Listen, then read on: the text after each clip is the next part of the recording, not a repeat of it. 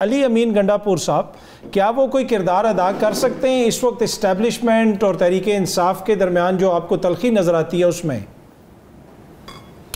دیکھیں، میں سمجھتا ہوں کہ میاں نواز شریف جو کچھ وہ چاہتے تھے، خاص طور پہ پارٹی کے حوالے سے، وہ میرے خیال میں اچیو کر چکے ہیں۔ ان کی خواہش تھی کہ اگر ان کے بھائی پرائم منسٹر ہوتے ہیں تو ان کی بیٹی پنجاب میں وزیر اعلیٰ بن جائے، اس کو وہ اچیو کر چکے ہیں۔ پارٹی اب ان کی جو تنظیم سازی تھی وہ یہ سمجھتے تھے کہ پارٹی بھی ان کی بیٹی کے پاس ہو۔ اب چونکہ وہ وزیر اعلیٰ پنجاب بن گئی ہیں تو پارٹی بھی میاں نواز شریف کے پاس واپس ہے۔ تو میرے خیال میں یہی ان کی خواہش تھی یہی اسی کوشش میں وہ تھے۔ وہ تو اچیو کرنے میں وہ کامیاب ہوئے ہیں۔ ٹھیک ہے۔ دوسری بات علی مین گنڈا پور صاحب کی۔ علی مین گنڈا پور صاحب کے میرا خیال ہے میری ذاتی رائے ہے کہ رابطے اسٹیبلشمنٹ کے ساتھ بھی ہیں اور وہ ایک برج کا کردار بھی ادا کر سکتے ہیں۔ لیکن مسئلہ صرف یہ ہے کہ کیا عمران خان صاحب یا پی ٹی آئی سیاسی جماعتوں کے ساتھ مل جل کر چلنے کو تیار ہیں؟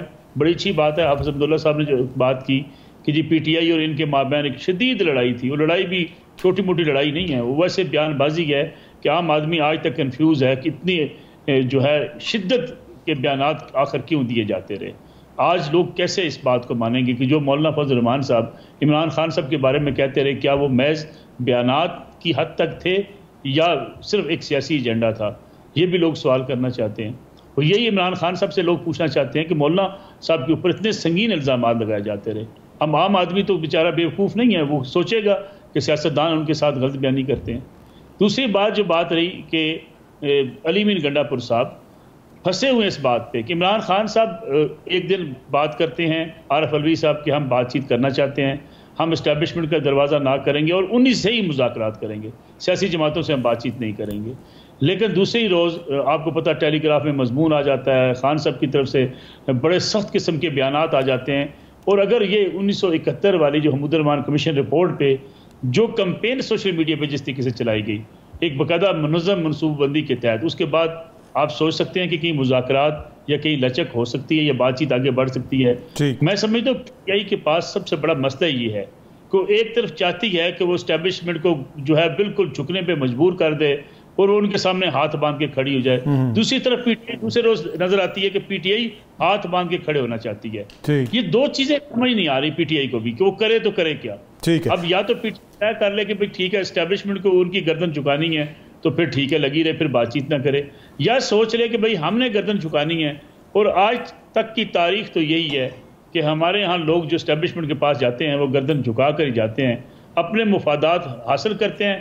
پھر جو ہے سیر و شکر ہو کر آگے بڑھنا شروع کر دونوں طرف سے لگتا ہے اس طرح کہ چیزیں اس نہج پہ پہنچ گئیں کہ کامن گراؤنڈ جو ہے نا وہ ڈھونڈنا مشکل ہو گیا۔ لیکن علی امین کنڈا پور صاحب کو ہم نے دیکھا وہ وفاقی وزراء کے ساتھ بیٹھے ہوئے تھے انہوں نے پریس کانفرنس بھی کی۔ اس کو آپ کس نظر سے دیکھتے ہیں؟ کیا یہ ایک پوزیٹیو سائن ہے؟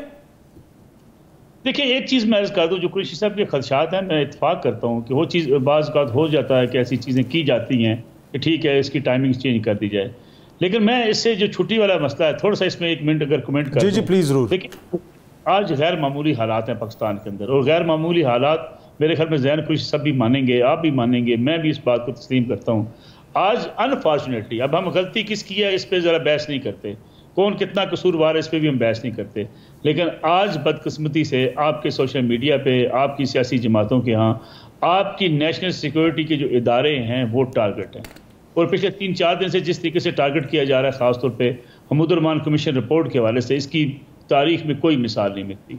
اس زمانے کی غلطیاں تھیں۔ اس زمانے کی غلطیوں پہ میں بڑی دفعہ بات بھی ہو چکی۔ شاہ محمود گوشی سب بھی بات کرتے رہے سیاستدان کرتے رہے، میاں نوازی بات کرتے رہے، عمران خان صاحب نے بات چیت کی۔ لیکن ہم ان غلطیوں کو کب تک دہرا کے ٹارگٹ کرتے رہیں گے اپنی افواج پاکستان کو؟ میرے خیال میں یہ نہیں ہونا چاہیے تھا۔ دو تین دن کا جو ٹارگٹ کیا گیا اور جو پھر اس وقت جو صورتحال بنتی نظر آتی ہے کہ ایک مخصوص گروہ یہ چاہتا ہے کہ فوج کو کرٹیسائز کیا جائے ہر وقت کیا جائے۔ ساری سیاسی جماعتوں کو اسے اوائڈ کرنا چاہیے۔ ان غیر معمولی حالات میں ہو سکتا ہے کہ کوئی ایسا کنسنسس پیدا کرنے کے لیے ایک ایسی صورتحال کہ لوگ کم از کم دفاع کے حوالے سے ایٹمی پرویم کے حوالے سے کم از کم ہمارے ہاں ایک جذبہ پھر سے پیدا ہو۔ یہ نیت بھی کسی نہ کسی جگہ ہو سکتی ہے۔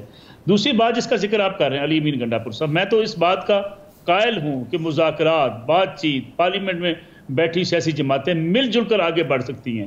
ساری ماضی کی غلطیوں پہ لڑتے رہیں گے تو آگے نہیں بڑھ سکیں گے۔ یعنی بڑی تنقید ہوئی علی مین گنڈا پور صاحب کور ہیڈ کوارٹر چلے گئے پوری کابینہ کو لے کے۔ وہ اس کی تنقید ہوئی کہ ایک طرف بیانیہ مختلف آتا ہے، دوسری طرف کا بیانیہ مختلف آ جاتا ہے۔ علی مین گنڈا پر صاحب ہوں باقی جتنے بھی پی ٹی آئی کی لیڈرشپ ہے یا پی ایم ایل این کی لیڈرشپ ہے جے یو آئی کی لیڈرشپ ہے وہ بیان بازی کرتے ہوئے ایک محتاط رویہ ضرور اختیار کریں۔ اس لیے شکوے لوگوں کو ہوتے ہیں یا آپ اور میں تنقید کر رہے ہوتے ہیں کہ علی مین گنڈا پر صاحب ایک طرف کہتے ہیں میں تمہارا بٹن بند کر دوں گا۔ اور جتنی ہارش قسم کی گفتگو کرتے ہیں اس کے بعد ساتھ بیٹھ جاتے ہیں۔ اس میں ملک صاحب آپ کو لگتا ہے کہ جس حالات سے پوری جماعت گزری ہماری سیاست گزری یہ وہی علی امین گنڈا پور ہیں جن کی تصویریں لگا کے وال آف شیم اوپر لکھا ہوتا تھا غدار کہہ رہے ہوتے تھے مخالفین آج وہ دو تائی اکثریت سے وہاں پہ آ گیا ہے۔ تو یہ دونوں طرف خیال کرنا چاہیے نا کہ چیزوں کو اس نہج پہ نہ لے کے جائیں کہ ایک دوسرے کو ہم خدا نہ خواستہ غدار ڈکلیئر کریں۔ بات کو یہ کرنا چاہیے نہ دیکھیں نا شہباز شریف صاحب نے کہا زرداری صاحب ہم آپ کو لاہور کی سڑکوں پر گھسیٹیں گے۔ میاں نواشی کو اس پہ معذرت کرنی پڑے گی کیوں آپ کہتے ہیں؟ یعنی آپ اس حد تک جاتے کیوں ہیں؟ آج مولانا فضمان اور پاکستان تحریک انصاف مل کر بیٹھ رہے ہیں۔